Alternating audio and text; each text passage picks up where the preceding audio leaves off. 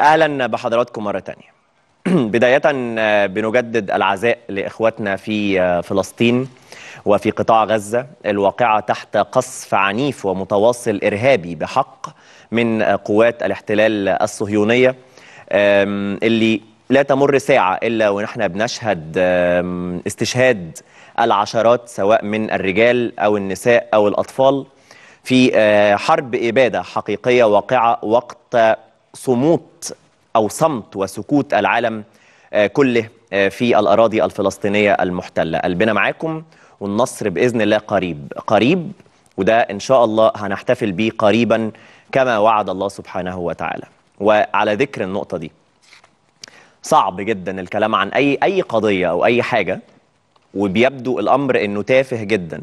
أي أمر في الحياة دلوقتي في ظل اللي بيحصل آه، في فلسطين.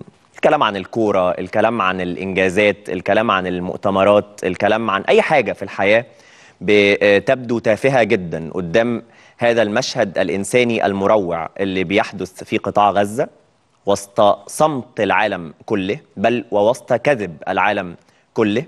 لكن بما إننا برنامج رياضي فبما إنه الاستقرار النفسي أو محاولة إنك تعمل اتزان نفسي في وسط الأخبار المرعبة المروعة والمشاهد المرهقة جدا نفسيا اللي بنشوفها.